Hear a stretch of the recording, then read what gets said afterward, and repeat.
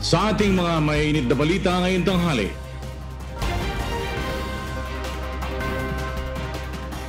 Close contacts ng labing anim na nagpositibo sa Delta variant nasa mahigit siyam na puna ayon sa DOH.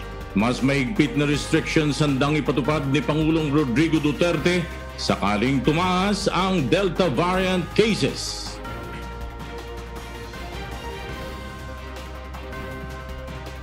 Isolation facilities, contact tracers at iba pa, inihanda na ng Metro Manila Council laban sa posibleng pagtaas ng Delta variant cases sa National Capital Region.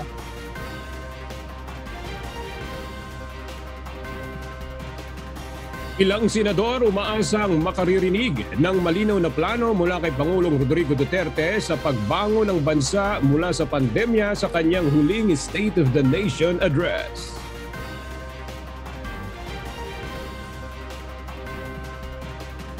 Drug war ng pamahalaan may tuturing na true legacy ni Pangulong Rodrigo Duterte sa kabila ng mga pambabatikos ayon sa Malacanang.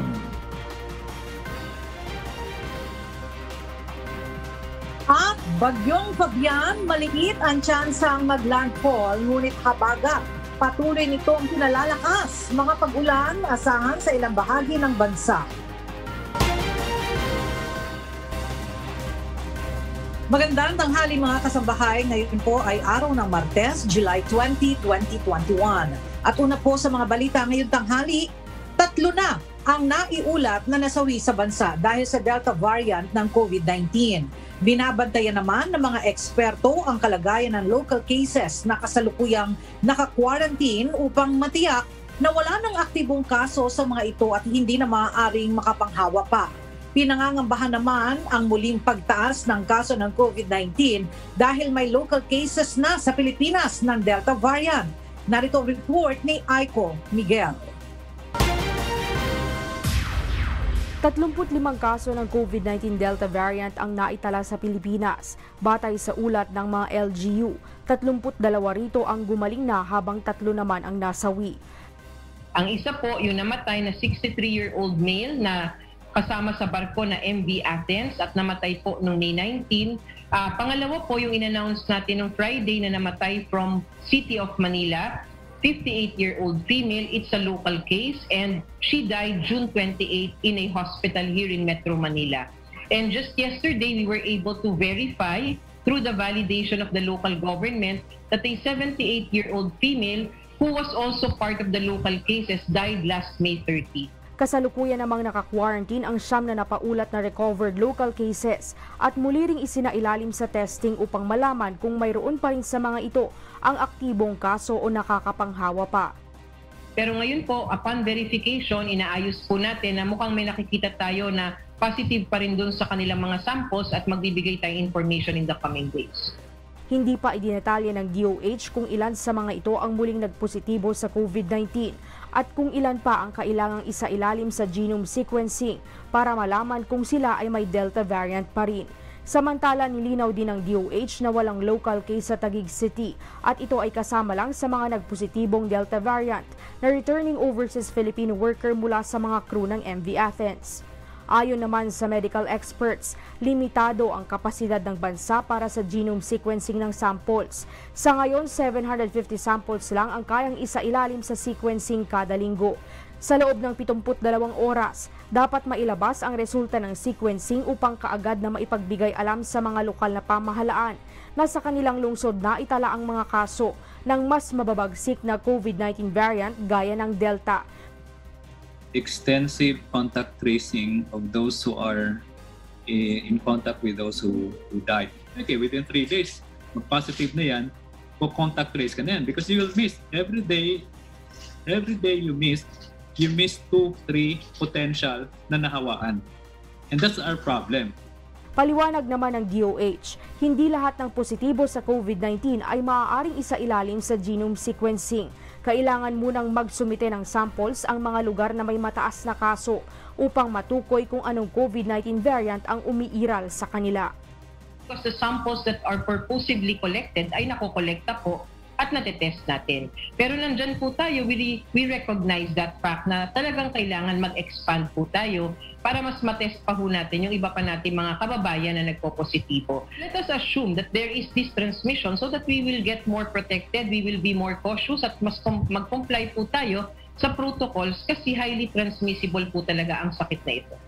Sa kabila ng tuloy-tuloy na pagbabakuna, paalala ng DOH, dapat mapanatili ng mga LGU ang mahigpit na pagpapatupad ng Prevent, Detect, Isolate, Treat, Reintegrate o PDITR strategy, kaakibat ang pagsunod sa minimum public health standards. Ay Miguel, UNTV News and Rescue, Diyos ang aming sandigan, serbisyo publiko ang aming pinahahalagahan.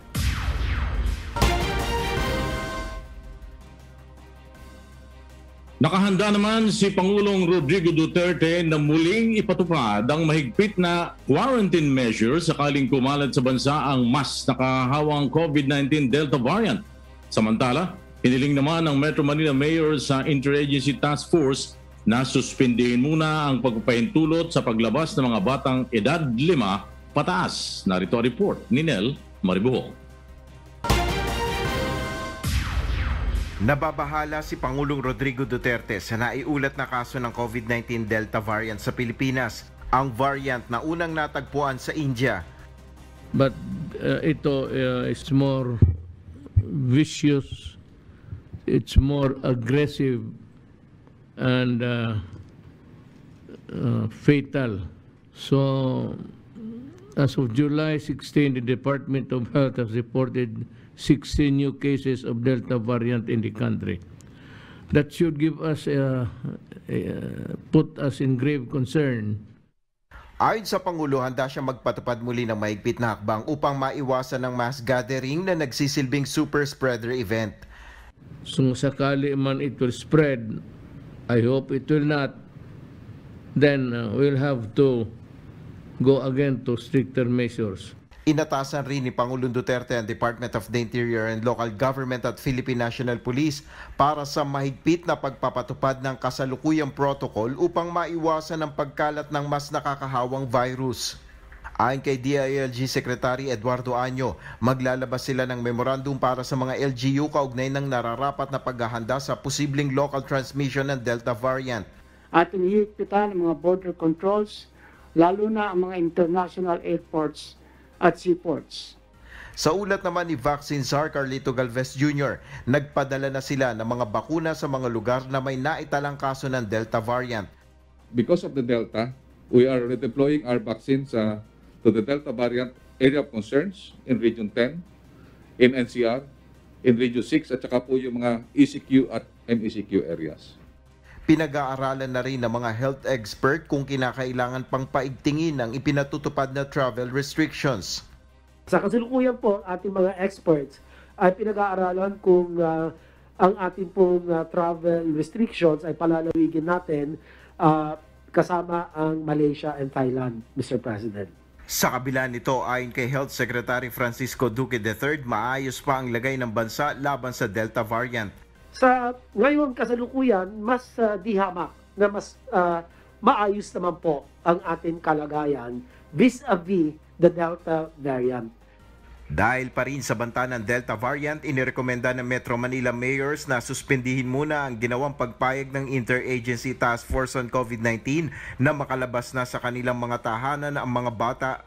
Nagbotohan po kami kanina, no? kami po mga alkalde, mga mayors, nag-usap-usap po kami at hinihiling po sana namin sa IATF maka, na baka maaari na yung polisiya tungkol sa 5-year-old pataas ay baka pwedeng baka pwedeng isuspindi muna sa Metro Manila. Wala pang desisyon ng IATF ukol sa naging rekomendasyon na ito ng mga alkalde sa Metro Manila. Nel Maribuhok, UNTV News and Rescue, Diyos ang aming sandigan, serbisyo publiko ang aming pinahalagahan.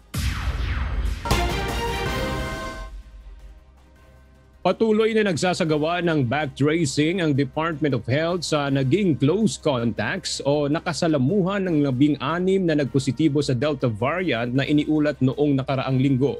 Sa ngayon, siyam na put isa na ang nakitang close contacts ng mga ito. Mula sa Quezon City, may report si Aiko Miguel live.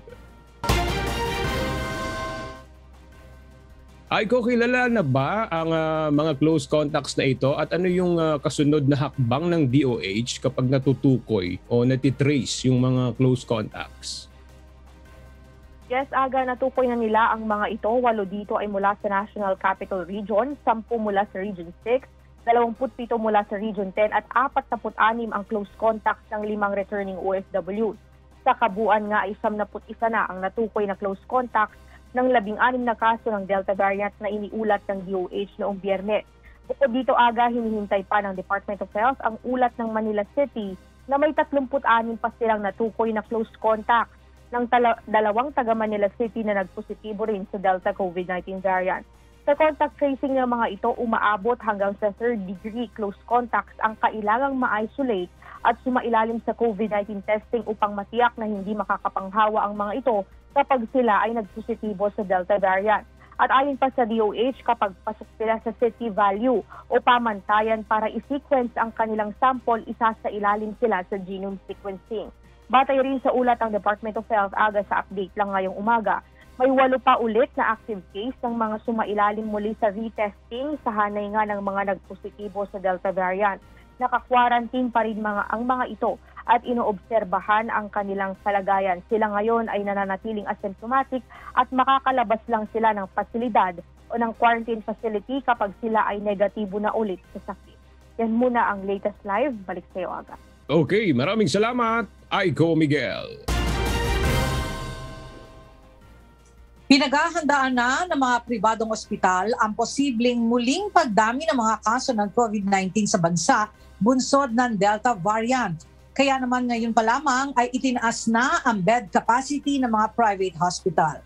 Gayunman, problemado ang Private Hospital Association dahil kulang pa rin ang bilang ng kanilang healthcare workers kahit pa padagdagan ang bed capacity sa mga ospital. Narito ang report ni JP Nunez. Dinagdagan pa ng 20% ang bed capacity sa ilang pribadong ospital bunsod ng nakaambang panganib ng COVID-19 Delta variant. Ayon sa Private Hospital Association of the Philippines Incorporated, maaari pa itong lawakan depende sa pangangailangan oras na magkaroon ng surge o pagtaas naman sa kaso.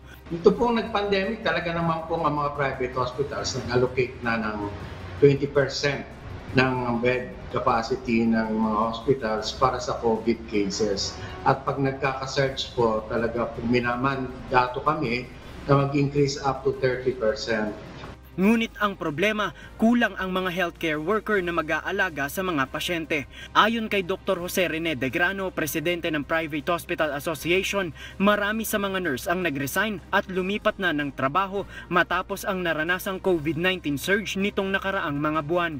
Habang may iba namang ospital ang nagbawas na talaga ng mga tauhan.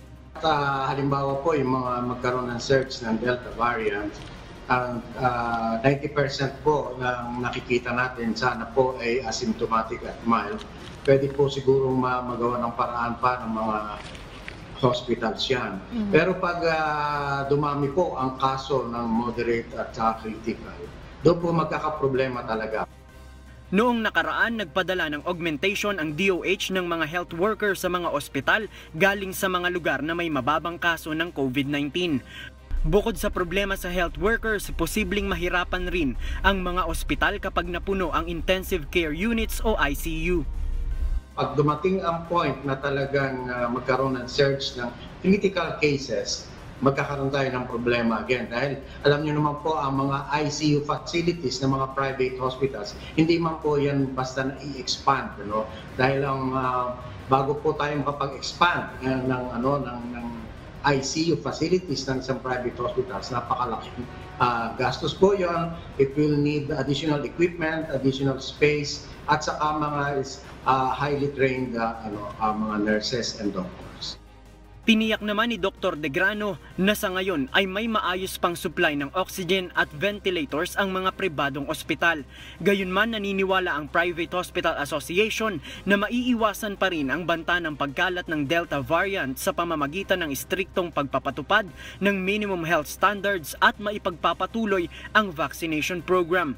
Nauna nang binuksan ng national government ang mas pinalawak na One Hospital Command Center sa Philippine International Convention Center o PICC PCC sa Pasay City upang tugunan ang pangangailangan sa ospital at isolation facilities referral ng mga pasyenteng may COVID-19. JP Nunez, UNTV, News and Rescue. Diyos ang aming sandigan, serbisyo publiko ang aming pinahahalagahan.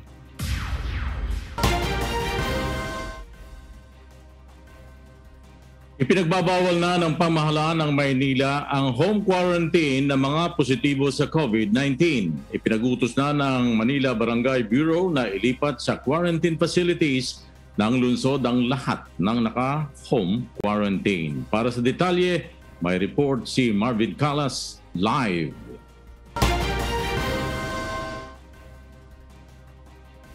Marvin, may parusa bang ipapataw sa mga pasyenteng uh, tatanggi sa direktiba ng Manila Barangay Bureau? Floor kasong kriminal ang maaaring harapin ng mga tatanggi o yung mga hindi susunod sa ipinatutupad na direktiba ng uh, itong Bureau of uh,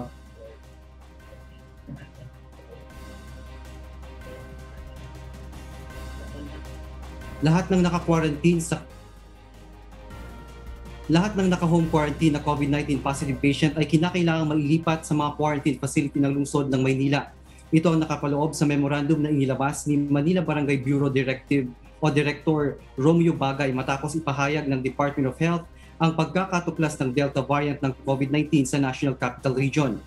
Ayon sa opisyal, lahat ng pasyente ay kinakailangang i-coordinate sa Manila Health Department at sa Manila Emergency Operations Center para sa agarang aksyon upang mailipat ang mga pasyente. Sa inilabas na memorandum ng lungsod noong Sabado, nakasaad dito na maaaring mag-request ng police assistance sa malapit na istasyon ng Manila Police Department sakaling hindi sumunod o tumanggi ang mga pasyente. Nakasaad, nakasaad din sa memorandum na maaaring maparusahan ng kasong kriminal ang mga identified COVID-19 positive patients na tatanggi o hindi makikipag-coordinate sa nasabing quarantine directive. Ito ay paglabag sa Section 9 o yung non-cooperation ng mga pasyente na apektado ng health event of public concern na nakasaad sa RA 11332 o ang mandatory reporting of notifiable diseases and health events of Public Health Concern Act. Ipinaalala rin ng opisyal na kinakailangang maipatupad ang o kinakailangan maipatupad na maobserbahan pa rin ang striktong implementasyon ng minimum health protocols Gayon din ang close monitoring ng mga barangay official sa mga kaso ng nagpo-positibo sa COVID-19 sa kanilang mga nasasakupan. Samantala, Flor, uh, sa ngayon ay inaasahan o inaantabayanan pa natin yung karagdagang impormasyon patungkol dito mula sa opisina ng Manila Barangay Bureau. Yan muna ang ating update live mula dito sa Quezon City. Balik sa iyo, Flor. Uh, Marvin, wala pa bang inilalabas na bilang yung uh, mga positibo na naka-home quarantine at kung sakaling uh, meron na, yan ba ay kakayanin naman ng uh, pasilidad? Yes, sir. Actually, yan yung mga gusto rin nating itanong ano, dito sa ating uh, Manila Barangay Bureau. Uh, nakipag-unayan na tayo sa kanilang opisina. Hinihintay lang natin yung availability ng uh, kanilang director para makuha natin yung mga impormasyon ukol dyan, Floor. Maraming salamat, Marvin Galas. Masihigpitan naman ng Philippine National Police ang uh, pagpapatupad ng health protocols kasunod ng banta ng COVID-19 Delta variant sa bansa. Kaugnay nito, pinadadagdagan ni PNP Chief Police General Guillermo Eleazar sa mga hepe ng pulisya ang deployment ng mga pulis sa matataong lugar. Narito ang report ni Lea Ilagan. Mahigpit na pagpapatupad ng health protocols ang utos ni Philippine National Police Chief Police General Guillermo Eliazar sa mga pulis kasunod ng banta ng Delta variant ng COVID-19 sa bansa. Success and failure of our effort to prevent the spread of this more transmissible and more deadly variant is on our hands. Bunsod nito, pinadadagdagan pa niya sa mga police commanders ang pwersa ng kanilang mga tauhan sa mga matataong lugar maging ang border ng Basilan, Sulu at Tawi-Tawi ay mahigpit ding pinababantayan ni General Eliazar. Atin ding binigyan ng direktiba ang ating mga commanders dito sa Basulta area, pati na rin ang Maritime Group para higpitan ang border control natin lalo na yung magagaling sa ibang bansa dahil may problema nga sa Indonesia. Ang Maritime Group, sinabing 24-7 ang ginagawa nilang pagpapatrolya. We have increased uh, maritime law enforcement patrols along the border areas, particularly in maritime areas facing Indonesia and Malaysia. We have also conducted strict inspection of uh, incoming vessels Mahigpit din ang ipinatutupad nilang inspeksyon sa mga pasahero sa pier. we ensure that the minimum health safety protocols are observed. They possess proper documents and they are required to observe and follow the Philippine government set guidelines. Payo nito sa publiko, magdoble ingat at iwasan ang paglabas kung hindi naman kinakailangan.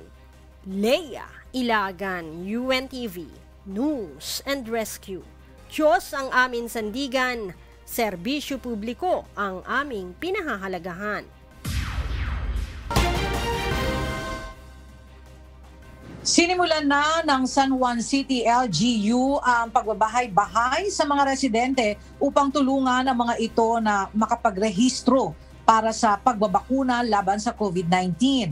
Kaugnay nito, inilunsad ng lokal ng pamahalaan ang programang Bisikleta para sa Bakuna na siyang iikot sa mga barangay. Narito ang report ni Marvin Calas.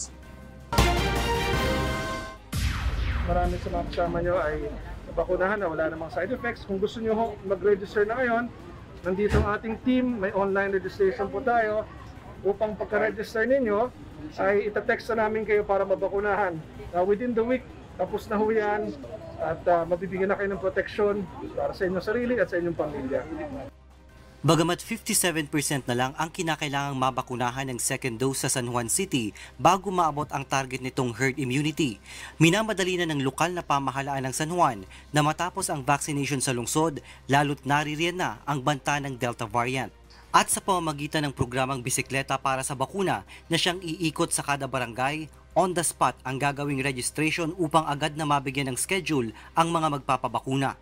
Marami kasi ang hindi pa nagpaparegister. So ang ginagawa natin, tayo mismo umikot sa barangay sa pamamagitan ng pagbibisikleta upang hikayatin ang mga hindi pa nagre-register. Meron tayong dalang mga cellphone, mga tablets kung saan on the spot pwede sila mag-register at yan po ang nangyayari ngayon. Para naman sa ilang mga residente, malaking tulong ang ginagawang hakbang ng lokal na pamahalaan upang mahikayat pa ang mas maraming residente na may alinlangan pa rin sa pagpapabakuna at matulungan ang iba na nahihirapang gumamit ng online registration. Hindi pa po ako napapabakuna. Ngayon, ngayon lang po ako nagpa-registered. Sa totoo lang po natatakot ako pero ang sabi nga kanina, mas mahirap na hindi mapabakunahan, sabi niya. Kaya nagpa-register po ako ngayon dahil gusto ko rin po na magkaroon ng ano, suporta sa sarili ko. Sa yung, yung ganyan pag-ikot niya, talagang bahay-bahay na inaan niya para la, halos lahat makapag-vaccine. No? Kasi dati takot na takot yung mga tao, di ba? Ngayon, andito na ang gamot. Why not uh, hindi pa sila magpa-vaccine? Tama lang yon. Nakakatulong po siyang mapadali po yung mga uh, step or kumbaga po yung dapat gawin para makapagpabakuna po lalo na po kung kagaya namin hindi nakakaalis ng mga bahay. Noong linggo umabot ng 105,410 ang bilang ng mga nabakunahan ng first dose sa lungsod. Habang ang nabakunahan naman ng second dose ay nasa 39,558 o katumbas ng 46% ng kanilang target population. Ito po ay aming ginagawa upang siguraduhin na makamit natin yung herd immunity and even go beyond the herd immunity sapagat hindi po tayo titigil sa 70% lamang na ating target population. Magtutuloy-tuloy po tayo sa 100% ng ating populasyon. Samantala kahapon ay binuksan na rin ang ikatlong vaccination center ng San Juan sa Victory Mall sa Green Hills kung saan isang libo ang kayang bakunahan kada araw. Karagdagan ito sa 4,000 daily capacity ng pinagsamang kapasidad ng Theater Mall Cinema 1 and 2 at Phil Oil Flying V Vaccination Center ng lungsod. Marvin Calas, UNTV, News and Rescue. Diyos ang aming sandigan, serbisyo publiko ang aming pinahahalagahan.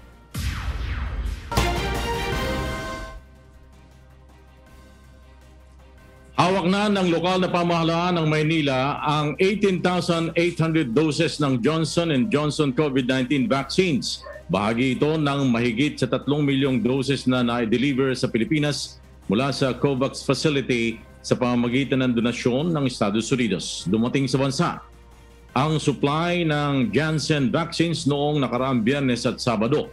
Wala pang pahayag ang Manila LGU kung kailan uumpisahan ang pagbabakuna ng bakunang gawa ng Johnson Johnson.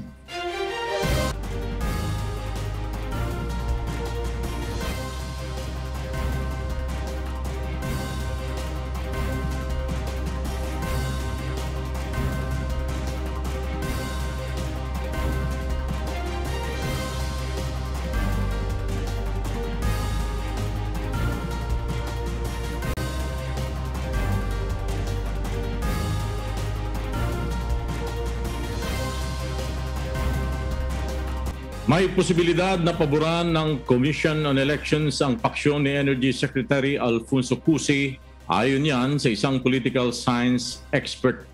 Ayon kay political science professor Dennis Coronacion, normal na sa isang partido lalo na kapag ruling party ang hindi pagkakaunawaan. Ayon naman sa isang political analyst, ang paksyon ng PDP laban ang magpapahina sa partido.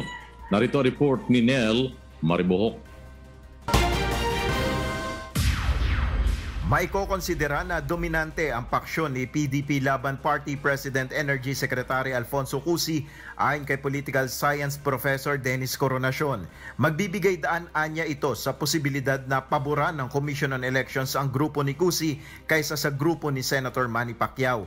Ito ay kung sakaling umabot na sa poll body ang issue. Tingin ko dyan baka pumabor dun sa faction ni Cusi, ni Secretary Cusi. Kasi of course, uh, obviously sila yung dominant na faction. He has the backing of the president. Ito namang si Coco Pimentel, uh, although sila yata yung mga nauna dyan, marginalized naman sila ngayon. Sa August 15 ang deadline ng paghahain ng sworn information update statements at list of authorized signatories ng mga political party sa COMELEC. Kung pareho magsusumite ang dalawang paksyon ng PDP laban, dito na papasok ang pagdinig ng poll body kung sino ang kikilalaning representante ng partido. Ayon kay Coronasyon, normal na rin kasi sa isang ruling party ang hindi pagkakaunawaan. Kasi normal yon sa isang organization na top heavy, lalo na kung top heavy. Ang ruling party kasi is uh, maraming mga talent yan, sabi nga nila. Maraming may potential na umangat. So, tas may mga egos and ambitions na na-entertain yung mga officials, party officials, party members. So, uh, nag-aagawa no and uh, that kind of behavior uh, results in the creation of faction. Ay naman sa political analyst na si Ramon Casiple, dapat maunawaan ng mga political party tulad ng PDP Laban na ang pagkakawatak-watak ang magpapahina sa grupo. Eh, yung argumento dyan, basta naghiwalayan kayo, talagang objectively, hihina kayo. Kaya nga, ang isang partido, ang tendensiya dapat nahabulin mo, ay lumaki, magpalakas. Huwag kayo pumasok sa larong uh, magpapahina sa inyo. Maaaring magbigay daan naman anya ang paksyon na ito ng ruling party upang makipagnegosasyon ng opposition group. Ang negosasyon ngayon, ang oposisyon nakipagnegosasyon, malamang nakikipag-usap na yan sa grupo ni Senator Manny Pacquiao. Nananatili naman bukas ang kampo ni Secretary Cusi na makipag-usap sa kabilang paksyon upang maayos na ang girian sa partido. Nel Maribuhok, UNTV News and Rescue, Diyos ang aming sandigan, serbisyo publiko ang aming pinahalagahan.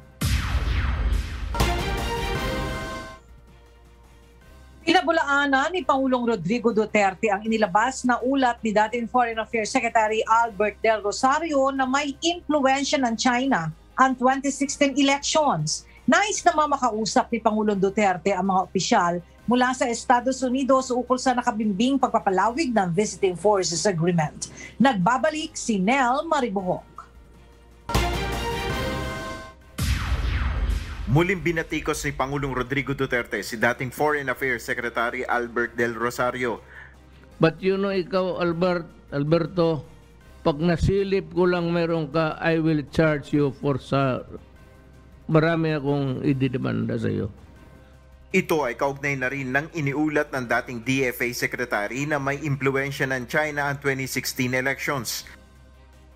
On February 26, 2019, we received information from the most reliable international entity that high officials from China are bragging that they had been able to influence the 2016 Philippine elections so that Duterte would be president. Mariin naman itong pinabulaanan ni Pangulong Duterte. You know, ang mabigat sa iyo, ikaw yung nag-transmit. And I said, that is treason. Kaya daldal ka ng daldal dyan. Anong China dyan na magtulong sa akin? Gago ka, saan mo nakuha yan? 16, 16 million makuha mo ng tulong sa ibang bayan? 16 million mabili mo? Samantala, nagtataka naman si Pangulong Duterte kung bakit mabilis na umaalis ang Chinese vessels sa karagatang sakop ng Pilipinas kapag sila ay pinapaalis ng Philippine Coast Guard. Previously, we had about two or three incidents which we drove away the Chinese uh, vessel. Gusto ko lang basahin ang utak ng mga tahanan. Bakit madali silang mapaalis? Kahapon, iniulat ng PCG na matagumpay nilang napaalis ang isang Chinese Navy warship sa bahagi ng Marie-Louise Bank, 147 nautical miles lamang ang layo mula sa baybay dagat ng El Nido, Palawan. Ayon kay Defense Secretary Delphine Lorenzana, posibleng ayaw rin magkaroon ng tensyon ng Chinese warship sa lugar. parang ayaw nila magkaroon ng insidente dyan involving their uh, naval ships kasi naval ships na ginagamit nila samantalang ang ginagamit natin ay yung uh, civilian ship na Coast Guard. Para naman kay Presidential Spokesman Harry Roque, resulta ito ng magandang relasyon ng Pilipinas sa China. Kasama na rin po dyan yung ah, mabuting relasyon natin ngayon sa China na ayaw rin nilang ah, ah, madistorbo. No? Nais naman makausap ng Pangulo ang sinuman sa mga matataas na opisyal ng Estados Unidos kaugnay ng nakabinbing pagpapalawig ng Visiting Forces Agreement. I just want to talk to the- some people in Washington, be it from the office of the President or the State Department Nel Maribuhok, UNTV News and Rescue, Diyos ang aming sandigan, serbisyo publiko ang aming pinahalagahan. Nagbabala ang National Privacy Commission o NPC sa publiko kaugnay sa posibleng paglitaw ng mga online political survey platform lalo na ngayong papalapit ang halalan. Mula sa Quezon City, may report si Dante Amento live. Dante, anong ah, panganib ang tinutukoy ng NPC sa mga online survey? Yes, sa aga ayon nga sa NPC, maaari kasing mabiktima ang sino man ng, ng tinatawag nilang ah, identity fraud kung saan gagamitin ng pangalan o ng iba yung iyong pangalan para gumawa ng ah, mga illegal na gawain at isa pa nga dyan yung nabanggit na rin ng ibang ibang ah, ahensya ng pamahalaan yung maaring mahack maging yung mga ah, bank account ng isang ah, individual. Kaya naman inisyuhan ng isang ah, inisyuhan ng cease and desist order ng uh, National Privacy Commission o NPC ang online political survey platform na pilipinas2022.ph.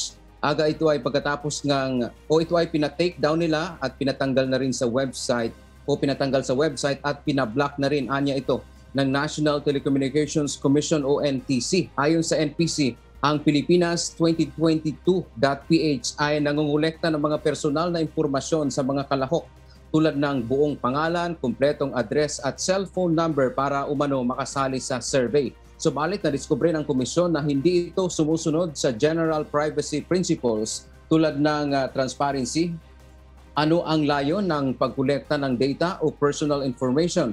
Kaya nga kaugnay nito a- ayon kay Attorney Rodolfo Cabato Jr., Chief ng Information Division ng NPC, na dapat mag-ingat ang ating mga kababayan sa posible pang ah, paglitaw ng ganitong mga platform. Ito ay habang papalit, papalapit na rin ang halalan. Dagdag pa nito, maaaring mabiktima ang sinuman ng tinatawag na identity fraud o gagamitin ang pangalan para makapangloko sa iba pagkatapos makuha ang mga mahahalagang impormasyon. Pakinggan natin ang bahagi ng pahayag ni Attorney Rodolfo Cabato Jr., ang Chief Information Division Officer ng NPC. Huwag po tayong masyadong magbibigay ng datos kung kung hindi po natin alam kung saan po natin gagamitin or kung sino yung nakalagay na hahabulin natin or accountable person or wala man lang contact details doon sa website na pinag-fill upan natin ng mga datos. Aga, babala nga ng NPC ang hindi otorisadong pagproseso ng personal na impormasyon ay labag sa Data Privacy Act of 2012 at sino mang uh, malaman o mapatunayan na lumalabag dito ay maaaring maharap sa kasong kriminal at pagmumultahin ng 500,000 hanggang 2 milyon o pagkakakulong ng hanggang ng isa hanggang tatlong taon. Yan ang ating balita mula dito sa Quezon City. Balik sa iyo, Aga. Okay, maraming salamat, Dante Amento. Iginiit ng Malacanang na maituturing na true legacy ni Pangulong Rodrigo Duterte ang anti-drug war ng kanyang administrasyon. Sa kabila ito ng mga pambabatikos dito tulad ng umano'y mga paglabag sa karapatang pantao. Narito ang report ni Rosalie Coles. Hindi maikakailang naging kontrobersyal ang anti-drug war ng Duterte administration maging sa international community. Bunso dito sa bilang ng mga nasawi sa police anti-drug operations. Subalit naniniwala ang palasyo, true legacy ni Pangulong Rodrigo Duterte ang anti-drug campaign. So rather than uh, a legacy of notoriety, I think it will be a true legacy of the President na tinutuon niya yung pangako niya na, so, na mananalo tayo dito sa gera laban sa pinagbabawal ng droga. Dagdag pa ng palace official, katunayang suportado ng publiko ang anti-drug war ng pamahalaan na nanatiling mataas ang public ratings ng presidente. Ipinakikitaan niya ito sa resulta ng survey ng public opinion polling body sa bansa. Sinabi po ni uh, Dr. Tabunda na mukhang uh, itong uh, war on drugs po is a promise fulfilled by the President uh, to the Filipino people. No? And because of this, eh, ito ata ang dahilan kung bakit kahit anong pinupukol kay Presidente, hindi po bumababa ang trust at saka ang uh, satisfaction rating ng Presidente. Batay sa ulat ng pamahalaan, mula July 1, 2016 hanggang May 31, 2021, higit 293,000 na ang mga naaresto sa mga isinagawang anti-illegal drug operations, samantalang higit 6,100 naman ang napaslang. Higit 22,000 barangay naman ang cleared na sa ipinagbabawal na gamot, subalit higit 13,000 pa ang kinakailangang pagtuunan ng pansin dahil sa pananatili ng operasyon ng iligal na droga.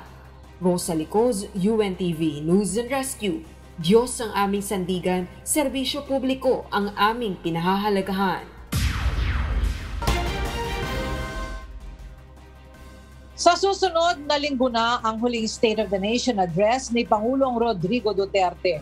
Ayon sa ilang mambabatas, nais nilang marinig mula sa Pangulo ang malinaw na plano para sa pagtugon at pagbangon ng bansa mula sa COVID-19 pandemic.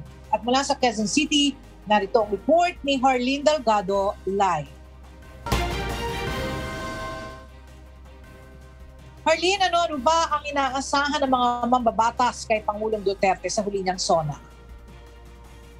Ela, isa lamang ang paglalatag ng COVID-19 response sa gustong marinig ng ilang senador sa huling SONA ni Pangulong Rodrigo Duterte sa July 26 para kay Senate Majority Leader Miguel Zubiri, mas makabubuti kung ilalahad ng Pangulo ang accomplishments ng kanyang administrasyon sa nagdaang limang taon, gaya ng mga naipasang batas at ang Build, Build, Build Infrastructure Program. Ngunit ang mas nais niyang marinig ng taong bayan ay kung ano ang plano ng Pangulo upang, upang panatilihing buhay ang ekonomiya at malampasan ang krisis sa COVID-19 sa nalalabing taon ng kanyang termino. Mas mainam din anya kung mailalatag ng Pangulo ang kanyang legislative priorities na makatutulong sa pagtugon sa pandemya. Ayon kay Zubiri, nangako na ang Senado na agad na aaksyonan ang pagpasa ng ilang priority measures sa susunod na dalawang buwan gaya ng Retail Trade Liberalization Act, Public Service Act, and Foreign Investments Act, Department of Overseas Filipino Workers, at Modernization of Bureau of Fire Protection. Si Senator Joel Villanueva naman umaasa rin na makapagbibigay si Pangulong Duterte ng malinaw na plano at direksyon para sa pag-recover ng bansa mula sa pandemya. Kabilang na anya riyan ang uh, pag-aksyon ng gobyerno sa pagkontrol ng pagkalat ng COVID-19, pagpapalakas sa healthcare system ng bansa at pagbibigay ng tamang kompensasyon sa mga health worker. At ganoon din si Senator Risa Hontiveros na umaasang ilalatag ng Pangulo ang plano para pigilan ang pagkalat ng Delta variant at mapababa ang kaso ng COVID-19 sa bansa. Pati na ang pagpapabilis sa vaccination rollout ang plano ng administrasyon para tulungan ang milyong-milyong Pilipino na nawala ng trabaho at negosyo at proteksyonan ang teritoryo at likas na yaman ng Pilipinas mula sa anyay pang-abuso ng China at ibang bansa. Dagdag paela ng senadora, sanay wala na munang pagyayabang, pamumulitika at mga pangakong mapapako lamang. At yan muna ang latest mula rito sa Quezon City. Balik sa'yo, Ella. Maraming salamat, Harleen Delgado. Nananatili pa ring isang tren lang ang bumabiyahe sa LRT2 East Extension pero nagsimula na ang fare collection sa mga train station nito. Narito ang report ni Asher Kadapan Jr. Hindi pa rin naisasaayos ng foreign experts ang koneksyon ng dati ng bahagi ng LRT Line 2 at ang kabubukas pa lang na east extension nito sa Marikina at Antipolo City. Inaasahang matatapos ang full integration ng buong linya ng LRT 2 ngayong linggo. Ngunit pansamantala, isang shuttle train pa rin ang nagsisilbi sa pagitan ng Santolan at Antipolo nakumpleto na natin yung full integration, tatanggalin na natin yung uh, shuttle train ngayon kasi ang mangyayari na, tagusan na yung mga train natin. Ibig sabihin, lahat na ng train nang galing ng recto, tuloy-tuloy na yung biyahe nila, makakarating na sila ng polo, and then pabalik. So, full line na yung ikot ng ating mga tren. Gayunman, nagsimula ng mga kolekta ng pamasahe sa LRT2 East Extension kahapon, ngunit hinihimok ng pamunuan ng LRT2 ang mga pasahero nito na gumamit ng stored value card. Mas ligtas at makatitipid kung ito ang gagamitin ng mga pasahero. May karagdagang gastos din sa paggamit ng single journey ticket. Every time na bibili ka, gagamitin mo yung ticket vending machine, and then idadaan mo siya doon sa turnstile, doon sa sa gate And then, at the end ng uh, biyahe mo, kukolektahin namin yan. And then, i-reprogram ulit namin, lalagyan ulit namin siya ng laman. Ngunit dahil sa pandemya, mayroon pang karagdagang proseso at gasto sa paggamit ng single journey ticket. Kailangan isa ilalim ang mga ticket na ito sa 72-hour quarantine upang masigurong mamamatay ang virus bago ito ilabas para sa mga susunod na pasaherong gagamit. So yung process na yon, it would pay some cost on our part. So mas mahal ngayon yung ating uh, administrative cost to to run or to operate a single journey ticket. Maring mabili ang bagong stored value card ng 30 pesos at magamit ito ng apat na taon. Asher Kadapan Jr., UNTV News and Rescue. Diyos ang aming sandigan, serbisyo publiko ang aming pinahalagahan.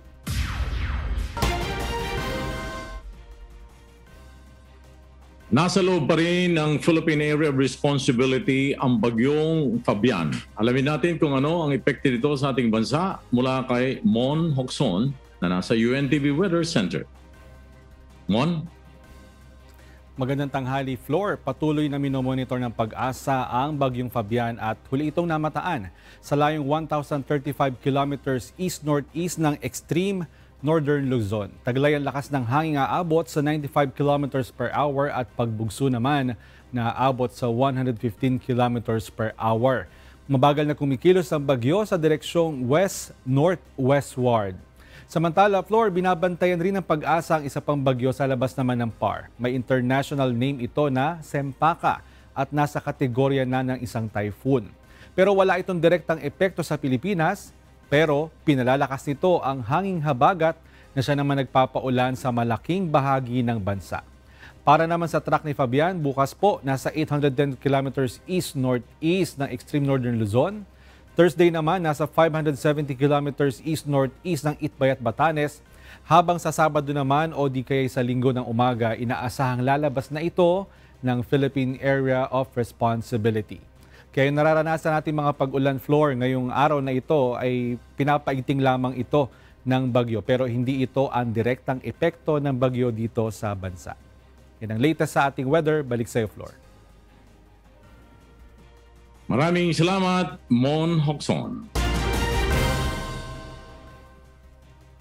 Patuloy na pinaiigting ng Metro Manila Council ang mga hakbang sa paglaban sa posibleng paglaganap ng COVID-19 Delta variant cases. Nakahanda na ang mga maaaring gamiting isolation facilities, contact tracers, at iba pa. At para sa detalye, narito ang report ni Asher Kadapan Jr. live. Asher, bukod ba sa mga pasilidad, ano pang hakbang na inihanda ng Metro Manila Council kontra Delta variant? Ella Tinuco, Metropolitan Manila Development Authority Chairman Benjamin Benhar Abalos Jr. ang ilan nga sa maagap na aksyong ginawa na ng mga, mga lokal na pamahalaan sa Kalakhang, Maynila laban sa posibleng paglaganap ng Delta variant. Pangunahin na dito ang uh, contact tracing measure kung saan pinalawig pa ng Department of Labor and Employment ang paglalaan nito ng mahigit 5,000 contact tracers sa loob ng dalawang buwan. Mayroon rin itong 20,000 massive swabbing mula sa National Task Force against COVID-19. Nakahanda na rin ang 83 rooms sa iba't ibang eskwelahan na magsisilbing isolation facilities para sa COVID-19 patients kung saan nasa kalahati ng bilang na ito ay hindi pa okupado at maaaring gamitin kung kakailanganin. Mayroon ring siyam na hotels na inilaan ng Office of the Civil Defense para naman sa mga asymptomatic patients habang uh, walong temporary treatment facilities ang pwedeng pagdalhan ng mga mild to moderate cases. Patuloy rin nagsisilbi ang One Hospital Command Center para maisaayos ang deployment ng mga pasyente sa mga kaukulang ospital. Ayon kay Abalos, naghahanda rin sila sa worst case scenario sa paglaganap ng Delta variant ng COVID-19 sa Kalakhang, Maynila.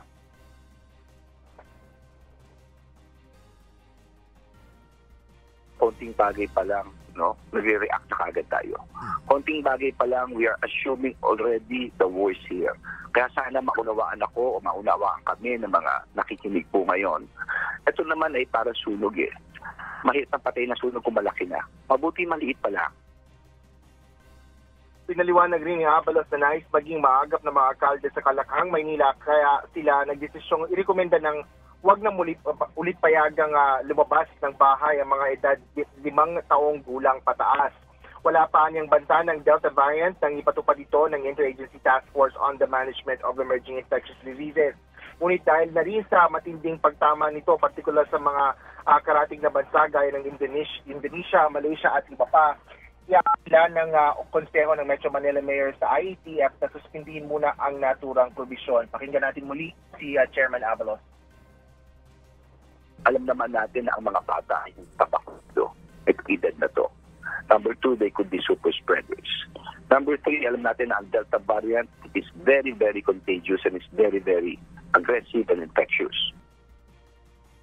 Ella, nilinaw din ni uh, MMDA Chairman ben, uh, Benwer Abalos na batay sa pag-aaral ng mga eksperto sa kalusugan ang mga rekomendasyon ng Metro Manila Council. Ella? Alright, maraming salamat Asher Kadapan Jr. live na nag-uulat mula sa Quezon City.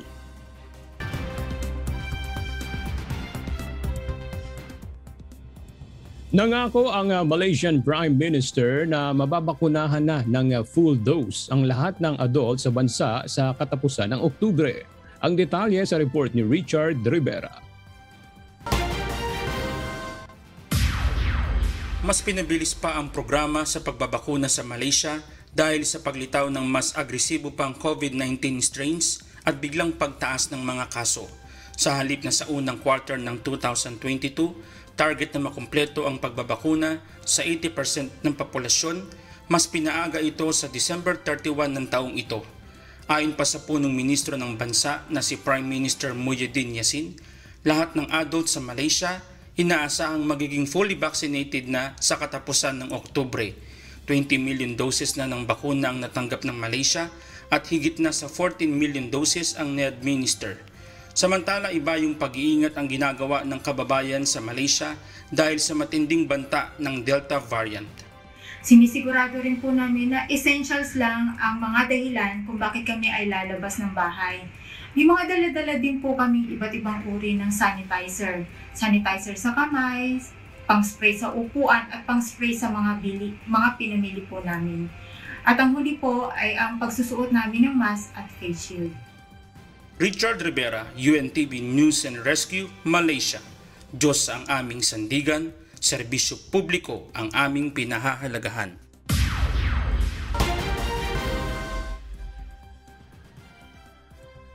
Inayuhan ng Singapore Ministry of Health ang unvaccinated elderlies na manatili sa loob ng bahay hanggat maaari dahil sa banta ng COVID-19. Narito report ni Tracy Advincula. Matindi ang concern ngayon sa potensyal na community spread ng COVID-19 sa Singapore kaya ang payo ng Ministry of Health sa mga di pa bakunado lalo na sa mga elderly, manatili muna sa bahay hanggat maaari sa mga susunod na linggo, lalo na't wala namang importanteng gagawin sa labas. Kaalinsabi nito, hinikayat din ng MOH ang mga kaanak maging ang mga kapitbahay ng mga matatanda na mag-abot ng kanilang magagawa tulad ng pagbili ng araw-araw na pangangailangan ng mga elderly. Ito ay matapos mahawa ng COVID-19 ang apat na unvaccinated senior sa wet markets kung saan malimit na pumupunta ang mga elderly. Isang kababayan naman sa Singapore ang nagpapanatili ng safety protocols sa tahanan lalo na at may kasama siyang matandang kaanak. Bilang kasambahay po na sa bawat paglabas ko po, gaya po ng pag-o-off or magpunta po ng supermarket, ay dinadisinfect ko po, hinuhugasan ko po ng maigi ang aking mga pinamili at agaran din po ako na naliligo po. Ganon din po yung mga kasama ko po sa bahay. At kung dati po mahilig po kami na mag-order po ng mga pagkain, ngayon ay minaigi na lamang po namin na kami po ang magluluto.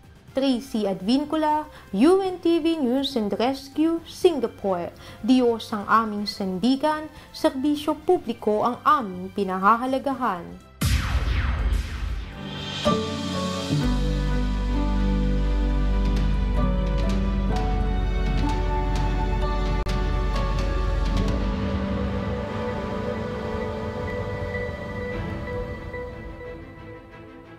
Isa sa pangunahing pangangailangan ng tao ang malinis na tubig.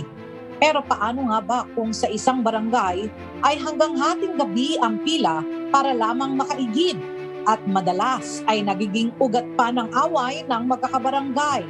Ang problemang ito ang tinugunan ng Members Church of God International sa isang barangay sa Sorsogon City. Alamin natin ang detalye sa report ni Alan Manansala.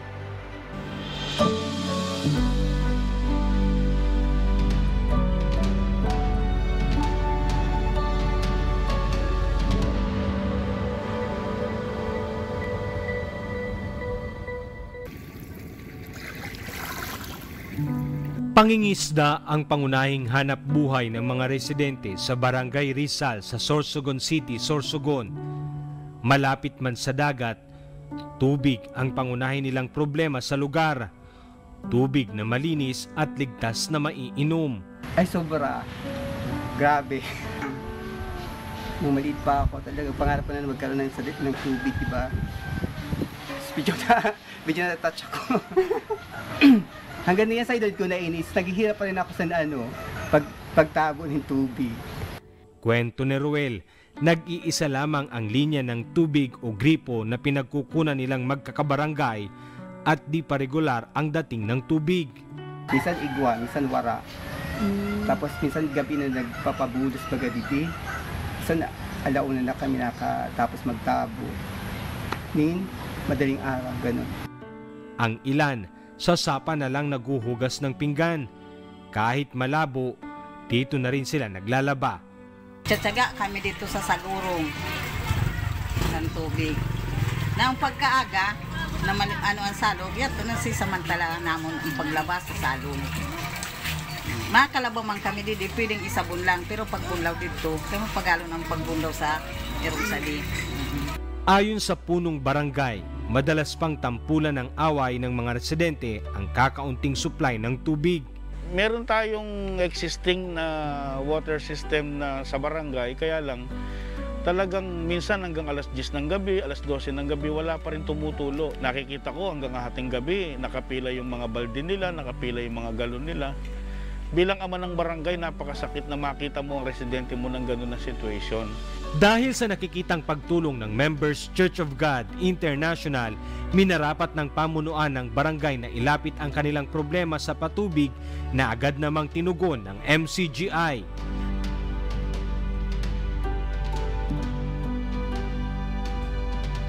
Abot-abot ang pasasalamat ng mga taga-barangay Rizal sa kanilang natanggap na poso. Pas, una-una kay God, tapos naging instrument niya yung mga taga-MCGI para ma, ma, matulungan yung mga residente dito sa Barangay Rizal. Naiyak ako san, kaligayahan na hinatag sa aton san, MCGI. Ah, Siyempre, una sa lahat, salamat sa Panginoon at ah, nagkaroon ng ganitong proyekto na potable water system para sa mga kabarangay sa Rizal. Matagal na panahon na problema namin dito ang tubig. At ah, malaking biyaya para sa amin itong ah, ipinagkaloob ng MCGI. Time sa pamamagitan ng pre-potable water na to, mararating sila sa kanilang mga tahanan patubig na to na malaking ginhawa para sa kanila. At salamat sa Diyos nakahanap tayo ng magandang bukal Alan Manansala, UNTV, News and Rescue, Diyos ang aming sandigan, serbisyo publiko ang aming pinahahalagahan.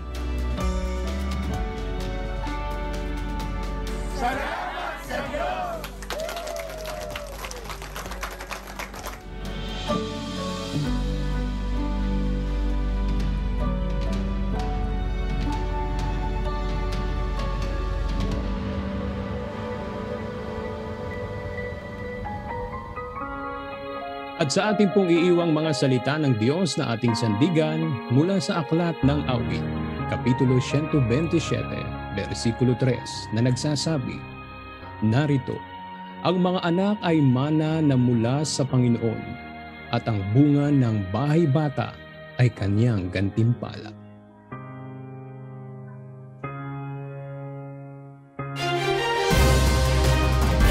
At yan po ang mga balitang aming tinutukan at inaksyonan.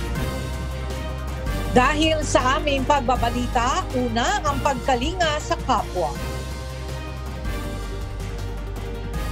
UNTVC News, may balita sa mga panig ng daigdig. At dito sa UNTV, Diyos sa aming sandigan, serbisyo publiko, ang aming pinahalagahan. At sumayin niyo po ang C News. Bukas po muli, magkita-kita tayo sa ganito ring oras.